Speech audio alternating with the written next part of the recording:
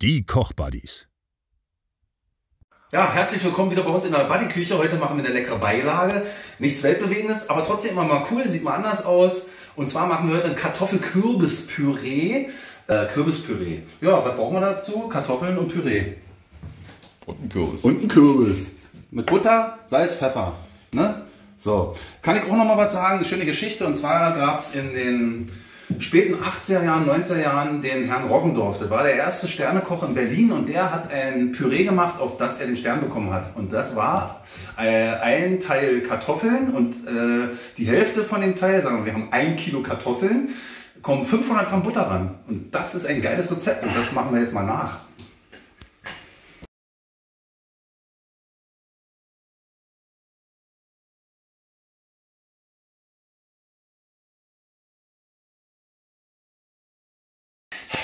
Kartoffeln sind fertig. So, jetzt machen wir Kürbis. Und zwar den Schniepel ab. Die Schale vom Hokkaido kann man mitessen. Wisst ihr ja sicherlich. Ihr wisst ja sowieso Bescheid. Was erzähle ich überhaupt? So. Ähm, das Kerngehäuse müssen wir rausnehmen. Wie machen wir das am, am besten? Mit einem Löffel. Easy peasy. Hier, Schublade. Und dann schält man das schön mit einem Löffel raus. Und dann hat man den wunderbaren Kürbis. Der ist richtig lecker, der riecht gut. Und dann schneiden wir das alles schön in Würfel und dann wird es gekocht und dann machen wir Püree raus. Und das hat eine schöne Farbe, sieht toll aus. Wird euch gefallen. So, und jetzt einfach gleich große Stücke schneiden.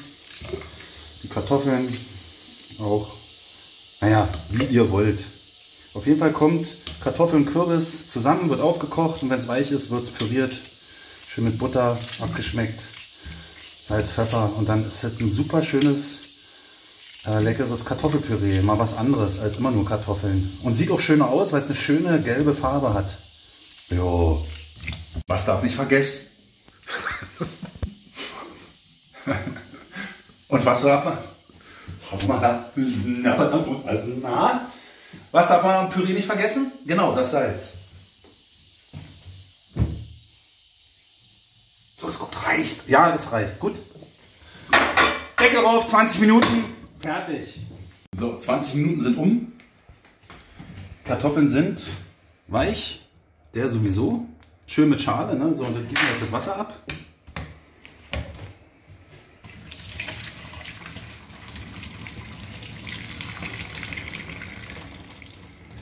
Wichtig bei Püree ist immer die Hitze.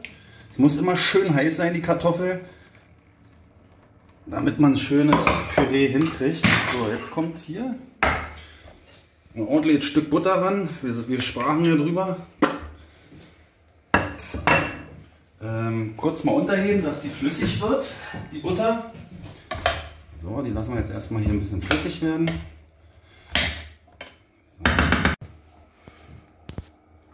Mein Schneebesen hat den Geist aufgegeben und deswegen habe ich jetzt den elektrischen Schneebesen. Und damit machen wir jetzt ein richtig schönes Püree.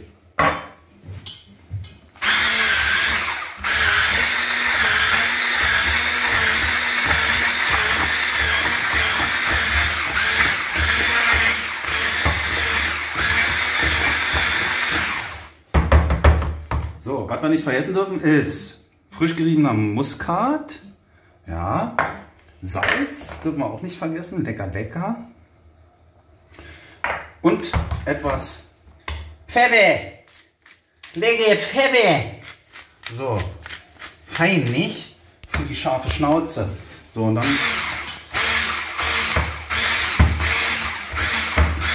ist eigentlich das Püree auch fertig.